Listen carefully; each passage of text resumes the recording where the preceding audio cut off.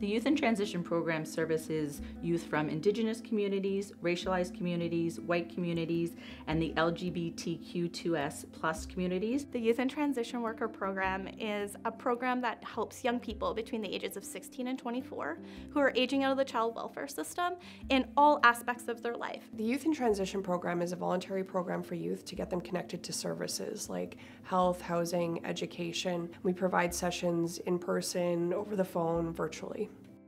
A youth and transition worker is a supportive advocate that works side by side with youth to develop confidence, skills, and connections. There really are a lot of youth out there that are struggling that don't know how to connect to the services that are available to them to make them successful and independent.